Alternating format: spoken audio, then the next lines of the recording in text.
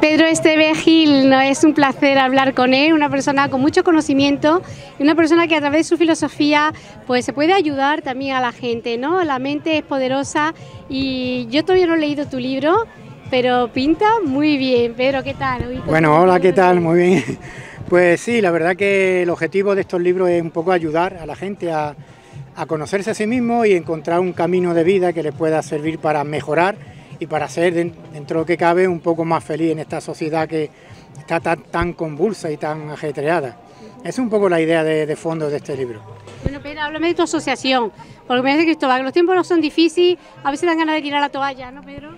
Eh, bueno, yo la verdad que no se me ha pasado por la cabeza tirar la toalla, llevamos 38 años con la escuela, el Instituto Shaolin en San Pedro, y formando gente joven, y yo no tiro la toalla porque cuando yo veo en las clases una niña pequeñita con cuatro, cinco años, seis, que hace las cosas con un entusiasmo tremendo, que pone ilusión, que te mira con unos ojos como plato cuando le explica algo, pues ese es el mejor regalo que uno puede tener.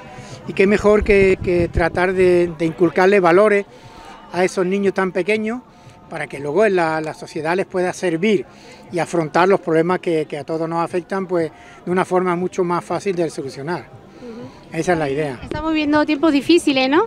¿Qué, podrías decir? Eh, alguna, ¿Alguna frase tuya, algunas palabras eh, de aliento, ¿no? En esto. Sí, bueno, los tiempos son muy difíciles, pero yo creo que a pesar de ello no hay que tener miedo, porque tener miedo no va a cambiar nada de lo que pueda suceder o no. Es más, va a perjudicarnos porque nos va a dejar un poco negativo en todos los aspectos, ¿no?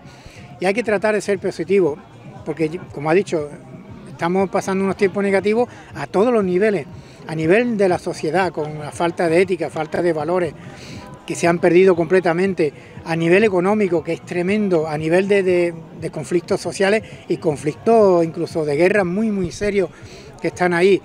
Bueno, pues lo que se trata es de que uno tenga la reflexión suficiente para, para primero no tener miedo y afrontar las cosas con más positivismo y a través de esa filosofía seguir adelante como sea, porque siempre si aportamos algo positivo a la sociedad, va a ser en beneficio de todos, no solo nuestro, sino de toda la sociedad. Y eso puede calmar un poco los tambores de guerra, como yo digo. Es muy importante. Qué bien hablas, Pedro, qué ¿No? sabes de la vida. Bueno, ¿dónde se puede adquirir tus libros? Eh, aquí en San Pedro, en la librería Nobel, en la calle La Gasca, o eh, se puede pedir a través de Facebook o en mi escuela, en cualquiera de estos sitios.